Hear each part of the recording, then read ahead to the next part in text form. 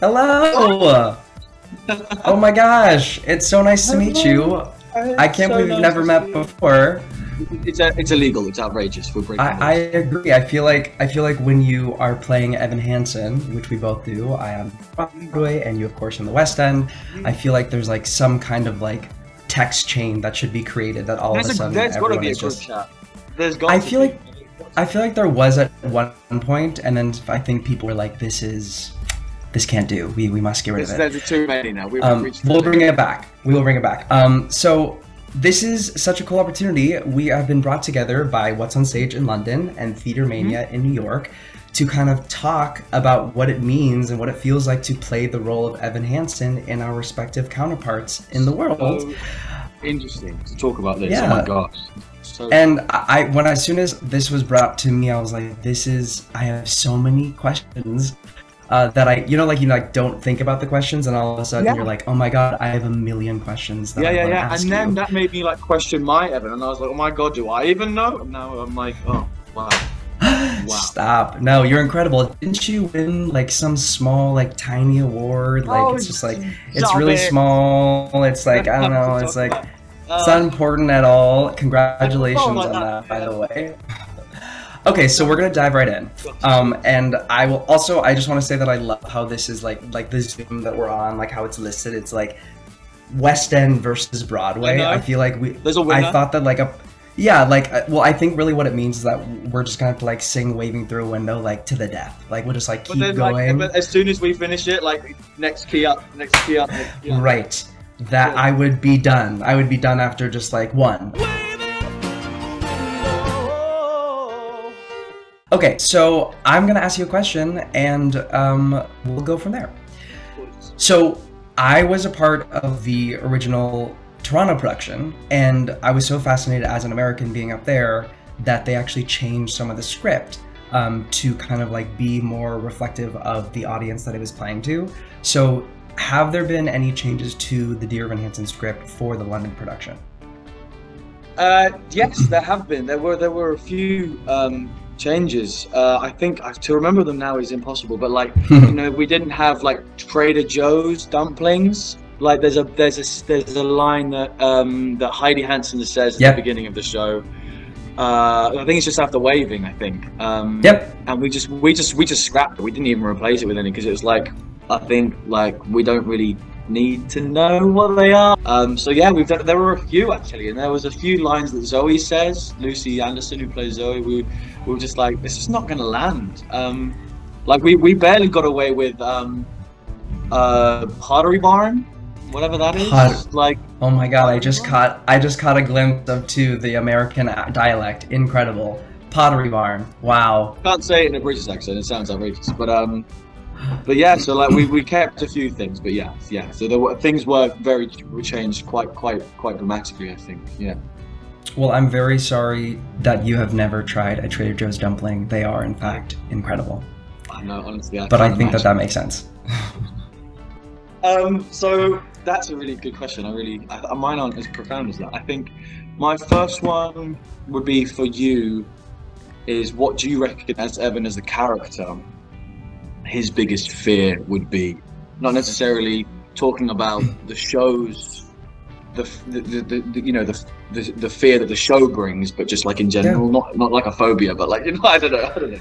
No, I mean I think that's a great question. I feel like his biggest fear is being on the outside, always looking in, you know, not being able to connect with everyone. And I don't know about you, but I had a very, I mean, middle school for me. Is there middle school in in in, in London? No, it's different, Yeah, we right? have like a kind of- secondary secondary Yes. school kind of, you know, yeah, yeah, yeah, GCSE vibe. People will know. You learn something new every single day with the show. Um, but I can totally relate to that, and I feel like that feels really right. You know, everyone is so familiar with "Waving Through a Window." It's like the like power anthem of like the century by you know Pasek Paul. Um, but in it, it really shows that Evan, what he wants the most is to connect with people and to finally have someone wave back at him. And I think by proxy, like the, his biggest fear is that he won't have someone kind of to connect with, to to to, to kind of be with, you know. Anybody see? Is anybody waving back to me? Okay, so next question for you. Uh, this, I'm curious because I feel like when I first joined the fold of band, I was like, what? This role is insane. And like, how do people do this? How do people do it once a week, twice a week, six? How do people do it? It's so incredible. It's so insane. It's such a like a mammoth of a role. What are the things that you do off stage in those, you know, whether it's the three minutes of Requiem or it's the 20 seconds we have before the Orchard quick change? It it's so interesting. I think for me, I think there was this one time a couple weeks ago I was doing the show and I was like, you know what, I really don't need to pee right now. I'm good. I'm all good. Um, and then I did words fail, needing to pee, and it was possibly the worst experience I've ever done. And I nearly embarrassed myself in front of an entire audience. What? Just literally. Or like, oh my god. Or or the stakes were really just so high that the audience was like, wow. Sam is really going through it tonight. He is just Yeah, like really know- going that extra mile. He really is. Yeah. It looks like he's gonna burst. Yeah, literally. So for me, because literally, the, the, the only reason I'm alive is because of just so much water, as you know. So I think you know, um, during the show, it- it- yeah, exactly. In Requiem, I you know I pop a mint just because to give myself my throat some sort of stimulus other than just swallowing like all the trash in there. Uh, and I'll go for a wee, and then I'll just kind of just chill, and I'll make fun of Rupert Young, who plays Larry, singing the high notes, um, and I'll tease him a bit, and then I'll just go. I'll do a few tongue stretches just to kind of like you know try and reset as much as I can before the rest of the chaos begins. But the the, the rest of it in Act Two is just literally just a quick change, water. Have try and fit a wee in if you can. If you can't, you know what? Good luck. That's You know, I feel like I've had a very similar experience of being like, yeah, peeing, like it's fine. I can just wait afterwards, and I, I'm ever, I guzzle similar to you, just like fluids. I wake up in the morning and I drink like what feels like a liter of water, and then I do that before bed and throughout the show because it's so important. Um, so I've definitely been in that position too, where I'm like, oh wow, it is the first act and it's for forever, and I have th- like two more scenes and songs before I can pee. And um, should we just like speed it up? We're just gonna be like, Yeah. blah, blah, blah, blah, like just, like even faster. Yeah. You know, I recently I recently discovered that waving through a window when it was first written, it was actually like up a couple steps. Like it actually was higher. And I was like, ha, interesting. I'm gonna go. I gotta I'm gonna just like take the I'm gonna run. No, man. Oh my gosh, yeah, crazy. Oh my goodness. Um, I've got a. Uh, speaking of songs and, and what have you, in in the entire score of the show, what would you reckon your favorite melody, or favorite line, or favorite rhythm, or or anything like that is? For example, mine is, and it's so silly. It's it's actually not. It's he left it in the bag.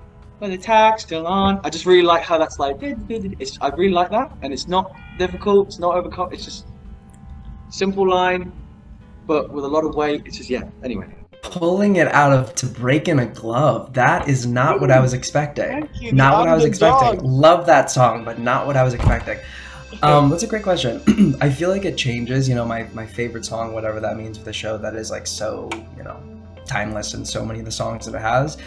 I think performing, I think my favorite song to do is For Forever, just because I feel like that's where we get to really kind of see who Evan actually is, um, and see his heart and his vulnerability. And I think that the melody is just um, so gorgeous.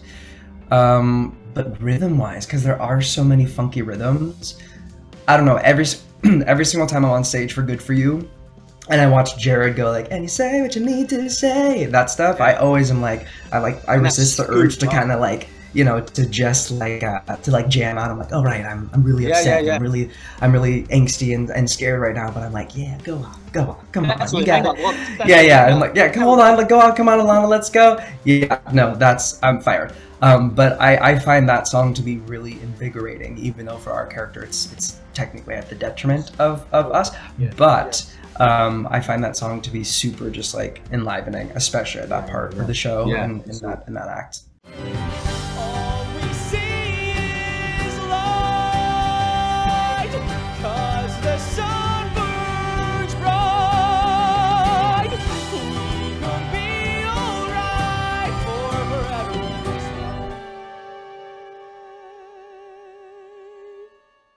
All right. Whoa. So I've got a question for you that is Please. a little bit more serious. Um, so you know, our shows have had incredible runs on Broadway and on the West End. I'm so proud of our productions for everything that they've done, the partnerships that they've made. Um, it's really just such a singular show, and I'm sure, like you, like for me, I feel so honored to just be a part of its history. Oh. Um, so, what do you hope people take away from the legacy of Dear Evan Hansen once it closes um, in our respective um, multiverses? the multiverse of Evan Hansen. Um, I think you know. Obviously, you'll be found is such in the context of the show. It's quite haunting. It's quite you know. Mm. It's there's such a darker undertone to it, but but but the the over the over the message is just so true and just so. I think it's so simple, and it just all it takes is is just something so brilliantly written, like Evan Hansen, Dear Evan Hansen, just have such a very simple and very genuine and truthful message that you know no one deserves to be forgotten or or you will be found or you know Yeah. you know all the, all these things and I think you know when I when you know when stage door was a was a bigger thing I think I, I had so many people that would come up to me and they would just and they would say here's a tattoo of a line because that line is saved my life people would come up to me and they you know it'll be like a you know really grizzled you know right as a guy you know this dad who's like you know clearly not into musical theatre or, or Yep. into acting or anything like that Yep. and he's and he says to me you know he, that he really resonates with Larry Murphy or he really you know saw his partner in so and so and it just really you know to see such truthful real non-perfect if that's you know like they they they are they are flawed and that's why they are so powerful is because they're human and i think you know the legacy that's you know the the the, the, the people who watch the show can identify with these eight eight six Yep. seven eight characters on stage.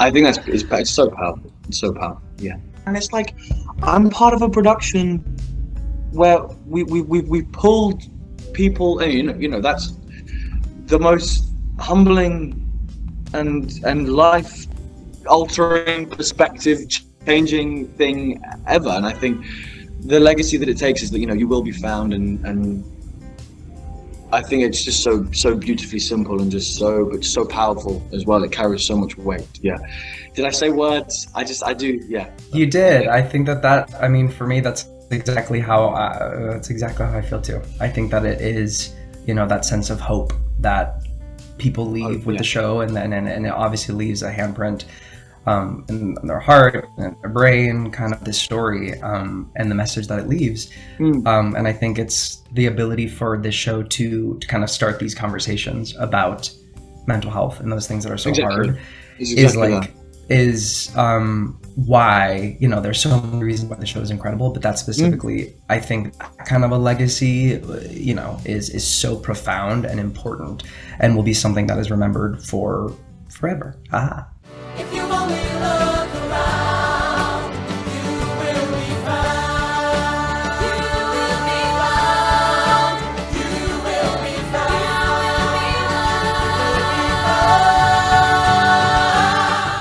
my um my this is such a I did it in a in a weird order. Uh, this is my this is my least profound. Oh God! i love it that's great because it, it contrasts the one that I, I asked you like a really hard question so this Right. is perfect this is exactly Uh, what we want what do you reckon?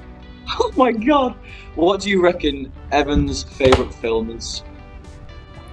his favorite film Yeah, oh my Because- god that is because I you know it's for, for me things like that just like really fill in. Not that there are many gaps to his personality that are written on that has been that's been written. We've got we've got so much you know stuff to work with. But I, I love stuff like that. Like you know what I mean? That that is an incredible question. Let's see here. I I feel like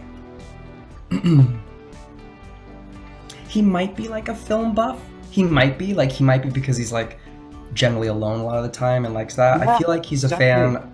I feel like he's a fan of the classics. Like I feel Yeah, like he's he's he's definitely got that going for him. He might be like a Star Wars person, maybe by virtue of his friendship with Jared. That he's like Jared likes this, so I also like this. But- That's a great question. I feel like I don't know. What would you say? What do you think? Well, the thing I, I was going for that kind of sci-fi Yeah. vibe, like you know, like Back to the Future, things like you know, like old and you know the classics, but Yeah. like that are still so current. And you know, I think I think stuff like that, like really sci-fi, Star Wars stuff, Trek stuff like that, like Well, Really, great minds think alike, but I I feel like it's definitely because he has a lot of those Friday Saturdays alone, as we learn at the very top of what does Reminds There you go. Like, what is what is what does Heidi say? She's like, she's like, I don't want another night of you sitting at home on a computer every night, mm-hmm. telling me you have no friends. Mm-hmm. So I feel like he's got his like classic kind of lineup of shows that he's like, He's got a okay, tonight it's me and this, and like I want to say it's Harry Potter, but like I don't know if that's it. Maybe he feels really akin to like Neville Longbottom or like Harry, who knows? Oh, But like, oh god. I'm gonna show tonight. I'm gonna be thinking about that the whole time. But like also me, that's just me because I am also very much a Harry Potter freak, so that could just be me bleeding into that. I love Um, Back to but the that's Future, a- so that's my favorite film as well. So yeah. That is a great movie. Marty McFly, dear lord. Um, that that was a great question. I feel like Oh, no one's ever a- asked me that before. Yeah. Another stellar conversation for the scrapbook. Goodness me, this has been fantastic. I cannot believe we haven't met in person. This is a, I know. This is a crime. This is a crime. I'm sure. I'm sure our paths will cross again. Maybe I'll be in London. Maybe you'll Done. probably be here at some point. We will get together. We will ask will. more questions. More questions. We will send it to What's on Stage and Theater Mania, and Theater they Mania. will not. They'll be like, "We, it's enough," but we will still do it, and we will talk about it because I'm We'll actually genuinely We'll have a whole exactly. glossary. Thank you. Oh my gosh, it's been amazing. Thank you so much. Um, please, everyone who's watching, um, while we're open, uh, book your tickets. It's such a beautiful show. Um, Zachary, I know I, you are just from this. I just know that you're such a wonderful, brilliant, truthful actor, and I know you give your all every night. Um, and I just would love to, to have the pleasure of seeing you. Uh, my goodness me. Um, Right back at you. much. Thank you so much. Uh, this has been Zachary Noah Piser and Sam Tutty. Um, Two friends, true friends,